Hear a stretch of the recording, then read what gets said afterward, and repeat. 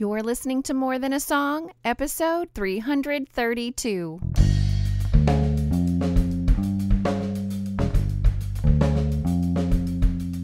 Hello, and welcome to this episode of More Than a Song. My name is Michelle Nezat, and this is the podcast dedicated to helping you discover the truth of Scripture hidden in today's popular Christian music. My goal is to teach you to connect portions of God's Word with the songs you're singing along with on the radio to help you meditate on truths that will transform your way of thinking and ultimately your life. So, what kind of person are you? Are you a live in the past kind of person or an always looking ahead kind of person? And if I had to guess, I would imagine not too many of us are actually live in the moment kind of people. And why is that, I wonder? I suppose a lot of it has to do with our age and our stage in life. For example, my oldest daughter is looking ahead toward college soon. She's always been a can't wait until what's next kind of gal, anyway, but I suppose this season of life amplifies that tendency. But then even she has been reminiscing about some especially special seasons of friendship and experiences that happened in the past. And I don't know about you, but I'm so ready for this pandemic season to pass. It's in the midst of all of this that Jeremy Camp actually released his song, Keep Me in the Moment. And we will use it to inspire us to explore scripture and refocus our hearts and minds and souls on our amazing Heavenly Father. But before we get to all of that, let's listen. Singing, oh,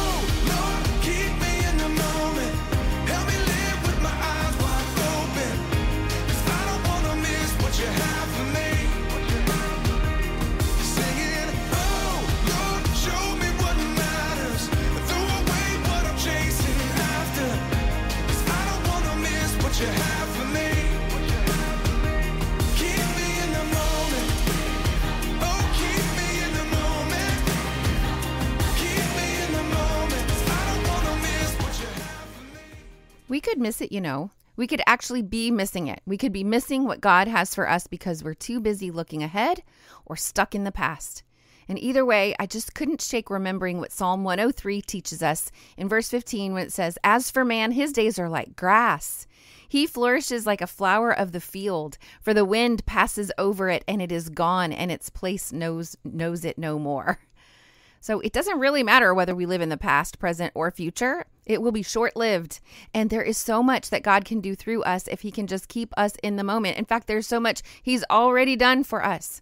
And it's so easy to live in the what ifs of the past or the what ifs of the future. What if I hadn't said that? What if this happens in the future? Of course, I'm not talking about a lack of planning here. I, I have a bunch of what ifs running around in my mind too. You know, my daughter's going to be a senior in high school this year. What if she can't have any of the traditional senior experiences because of COVID? That's my big what if of the moment. Fairly shallow compared to many of you who have life altering what ifs in your mind and in your life today. And that is why it's good for us to refocus on the Lord. Our days are like grass, but God, well, He's so different. And that's when I was led this week to consider the opposite. And that is a Bible interaction tool exercise that I like to use. I call these exercises bites, and this is a simple one, but so good. We're starting with our fleeting life and considering the opposite of that. And this psalm will help us refocus on God as our opposite. He is our constant. He is not fleeting. He is eternal. And so we're going to focus in on that. We're going to read Psalm 103 together this week, the whole thing in context. Another bite. Uh, stop reading your Bible one verse at a time. There's so much more to discover when you consider larger chunks or even smaller chunks in light of the whole of Scripture if you get easily overwhelmed, uh, the Psalms are a really good place to go because to read a psalm in context just means you have to read the entire psalm. It doesn't help you to read psalms around it. It doesn't doesn't shed light on it. That each psalm is a song or a poem and it's encapsulated in itself. So Let's do that this week. Let's read Psalm 103. And verse 1 begins like this Bless the Lord, O my soul, and all that is within me. Bless his holy name. So, this psalm follows another one of my bites, which is start with God. And I've been studying in Ephesians lately um, and some other letters from Paul, actually, and many of them, many, most of his letters starts by blessing God. And blessing the Lord is just offering up adoration and worship. It rightly places us on our knees before a holy God and it reorients us from our relentless focus on self to our ardent devotion to God. And in this moment, let all that is within me bless his holy name. Let my hangups and my hopes, my thoughts and my feelings, my entire being in this moment, let all that is within me bless his holy name. So, verse 2 says, Bless the Lord, O my soul, and forget not all his benefits, who forgives all your iniquity, who heals all your diseases, who redeems your life from the pit, who crowns you with steadfast love and mercy, who satisfies you with good so that your youth is renewed like the eagles.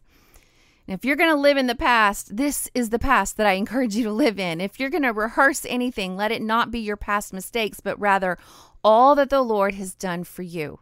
So let's use the bite of making a list here. What are God's benefits? It says, forget not all his benefits. So what are they? And they begin in verse three that he forgives all of our iniquities. Our sins are forgiven. He, number two, he heals all your diseases, whether on earth or in, in eternity. He is the great physician and he heals. Uh, number three, he redeems your life from the pit. Yes and amen. He redeems you. He buys you back from this pit that's going to suck you down and keep you in a place that He doesn't want you to be. He redeems you. And the pit, of course, is, is dug often by our own sin. But number four, He crowns you with steadfast love and mercy. In a world of so much unknown and uncertainty, God's love is steadfast and reliable.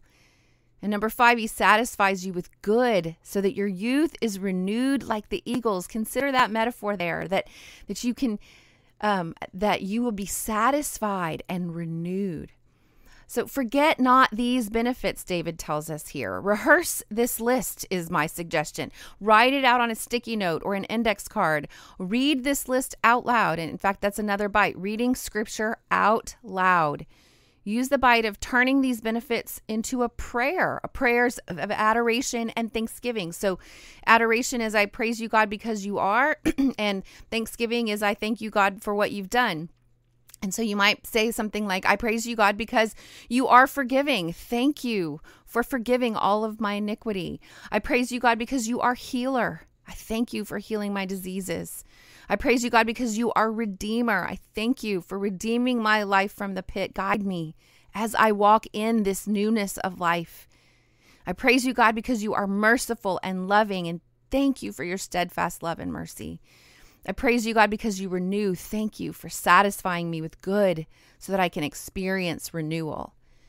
And if we move on to verse 6, we can see more benefits. Uh, the Lord works righteousness and justice for all who are oppressed.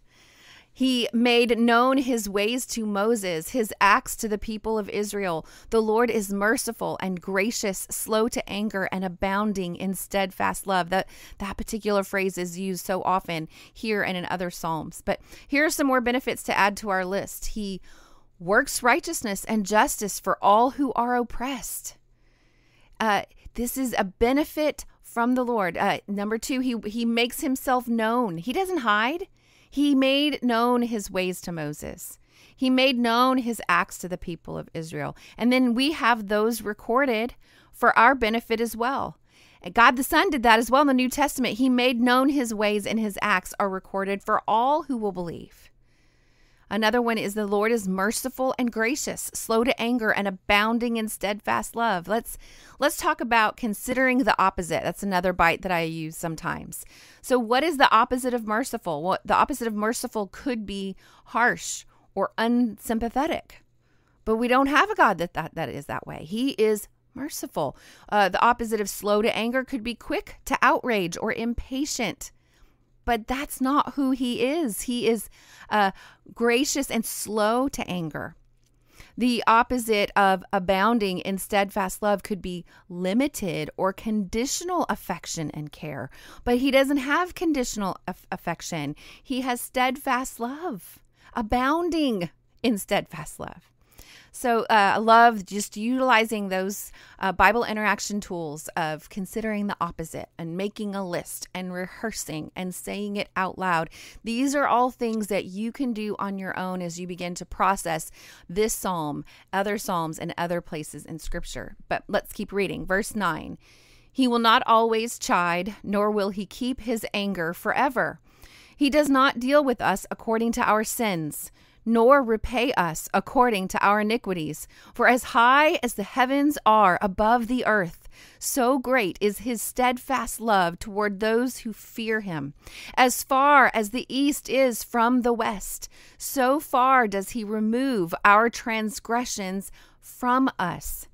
I I think sometimes we can get into a place where we um have buzzwords or themes that really resonate with us uh, biblical liter- literacy or um, reading the bible or understanding the bible. That's a buzzword for me. Every time my pastor says read your bible i'm like woohoo! And you know obviously that's just something i'm very dedicated to and i'm focused on and i'm thinking about all the time and so if I, um, and that's good, right? But if I miss out on the rest of the story of of what he's trying to teach, then perhaps I'll I'll miss another aspect of my Christian walk.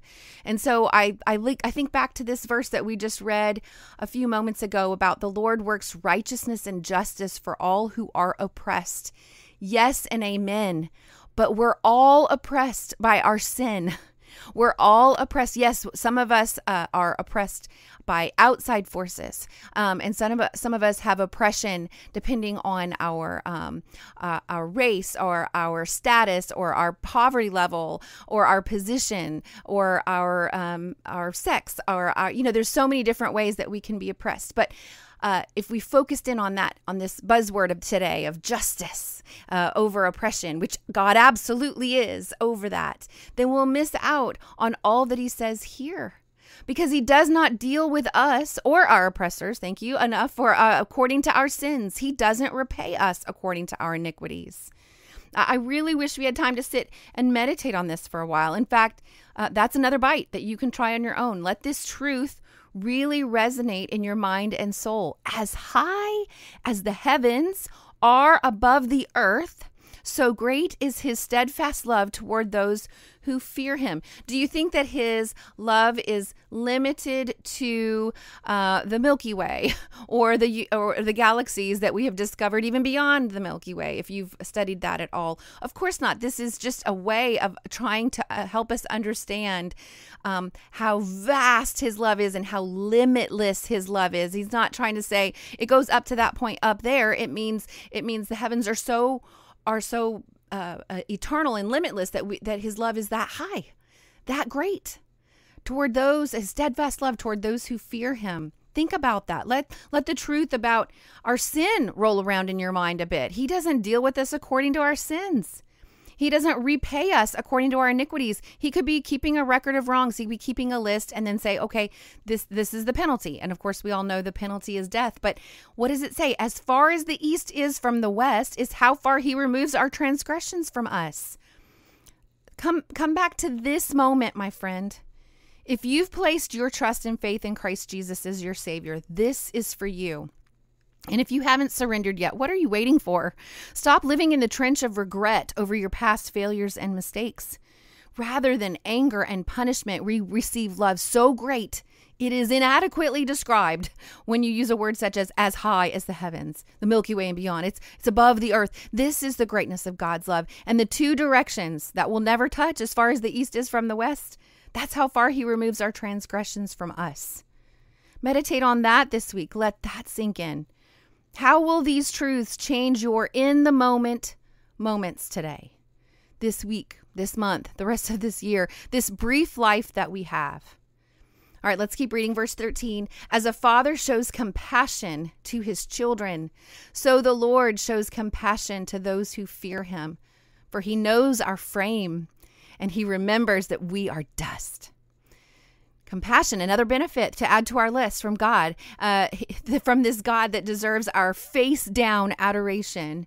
Compassion, you can add that to your list. Why does He show us compassion? Because He remembers where we came from. He remembers our meager existence began with dust, and His will to form us. This building block that God used to form us into his image, he remembers that we're dust. And we should also remember that. And we should also remember what follows, which is where we began on today's podcast. As for man, his days are like grass. He flourishes like a flower of the field, for the wind passes over it and it is gone, and its place knows it no more. Life is short. So let's live in this moment in the full knowledge of the benefits bestowed upon us by a loving, compassionate, merciful God. Verse 17, but the steadfast love of the Lord is from everlasting to everlasting on those who fear him, and his righteousness to children's children, to those who keep his covenant and remember to do his commandments. The Lord has established his throne in the heavens, and his kingdom rules over all. I just love the generational blessing that um, is found in these verses, his righteousness to children's children. and and the steadfast again you know yes that's a benefit to us but just a reminder of the steadfast love of the lord. I hadn't i didn't count but it's coming up as i'm even looking at it again today reading back over again for you the steadfast love. I wonder how many times that word steadfast is used in that psalm. That could be a little side project for you to count that. But i love reading the verses about our lives being so temporary in context of the truth that God is from everlasting to everlasting. Our obedience to his covenants and his commandments comes from remembering the benefits that we have in him. And what an awesome contrast, you know, flowers and grass in a field that will blow away versus God's everlasting throne in heaven ruling over all. And let's end in verse 20 where it says, Bless the Lord, O you his angels, you mighty ones who do his word obeying the voice of his word. Bless the Lord, all his hosts, his ministers who do his will. Bless the Lord, all his works in all places of his dominion. Bless the Lord, O my soul. And there's no better way to end this amazing refocusing tool of a psalm than to come back to how we started blessing God, worshiping Him, adoring Him, and isn't, isn't interesting? The created beings closest to understanding the glory of our God enthroned in the heavenlies. David calls them to bless the Lord along with all of the works of the Lord. That's us too, by the way. And, and like a sermon to his own soul, David cries out, Bless the Lord, O my soul, right? So his angels, his ministers, all his hosts who do his will, the ones that are, are ministering to him, even in this moment in the throne room, he's calling on them to bless him, which of course is what they're already doing, as we've seen um, in other verses, like in Revelation and things like that. We see that that's what they're already doing. But like a sermon to his own soul, David cries out, Bless the Lord. And I don't know a better way to stay in the moment than to refocus my soul on the benefits of faith in God. He is worthy of praise, whether or not He blessed us in these profound ways, but He has blessed us in these profound ways. He has lavished on us grace and mercy and love. It's who He is and it's who we are in Him. And it would do us well to bless Him and to not forget the benefits that He already has placed on our lives when we placed our faith in Jesus Christ as our Savior. So, what's next? We'll read and meditate on Psalm 103 this week. Use the bites of starting with God and making a list of the benefits from Him detailed in this psalm. Read the psalm out loud. Turn the the benefits of this psalm or, or into prayers and pray and, and words of praise. And by all means, bless the Lord this week. And then while you're in God's Word this week, let me know how you're doing. Email me, Michelle at MichelleNezat.com. Hop on Twitter at Michelle Nezat or Instagram at Michelle Nezat. My public page on Facebook is Michelle L. Nezat, and let's talk about what you're learning. Now, if you haven't joined the 30 day music challenge yet, I highly recommend it. This challenge is to listen exclusively to Christian music for 30 days, and I walk you through it day by day, giving you um, little bites and some extra resources. It can be as simple as uh, a one sentence email and a one minute video, or uh, I also link back to some additional podcasts and other resources for you as you make this commitment. You're never too late to jump in. You just submit your name and email address to michellenezat.com forward slash 30 day challenge, and you're in. Super simple. Now, before I tell you what song will be featured next week, I want to thank any new subscribers who have subscribed recently, like Omawumi from Nigeria, Marie from Georgia, Sokaluhi from South Africa. I probably mispronounced both my Nigerian and South African friends' names. I'm very sorry for that. Teresa from South Carolina and Susan from Kentucky. Welcome. Now, new subscribers to my website, this is what you'll get when you subscribe. You get a one page resource of my top five bites I think this will be a really great place for you to start. Today, I threw out several. I, I, threw out a whole bunch of bites. So, and so my top five are on this one page resource. It's a, um, a great place to start. And then subscribers will also benefit from an email that I send once a week. And in that email, you get a weekly memory verse resource to display on your smartphone, tablet, desktop, or you can print it out. You get an email recap of the week's episode, and you get instant access to any of the extra resources that I create for my podcast from time to time. And all of that is just my way of saying thank you for listening. So head over to michellenezat.com to subscribe today. Now, have you had a chance to write a review in iTunes for the podcast yet? Uh, this encourages me, of course, but also helps me stay visible to new listeners. And as always, if you take the time to review my podcast, I will take the time to personally thank you right here on the podcast. Just like Bev, who writes, I want to thank you for sharing your gifts and talents. Music speaks to my soul, and your podcasts are a beautiful and inspiring blessing. I look forward to your weekly podcast and spending time with God. You have been instrumental in opening my eyes and heart Thank you. Ah, well, thank you, Bev. I'm really honored that God has allowed me to be a part of his story in your life. Uh, of course, you can listen to the podcast directly on my website at michellenezat.com through iTunes or the Apple Podcast app. You can follow on Spotify or through Stitcher Radio or your podcast listening app of choice. Well, that's it for this episode of More Than a Song. Next week, I will be using There Was Jesus by Zach Williams and Dolly Parton to lead us to scripture. If you liked this episode, however, would you mind sharing it with others? I've made it really easy. With just one click, you can share via Facebook, Twitter, or email. Just head over to michellenezat.com forward slash 332. While you're there, I'd love to hear from you. Click on, click on comment to join the conversation. Until next time, take time to meditate on God's Word and consider His ways.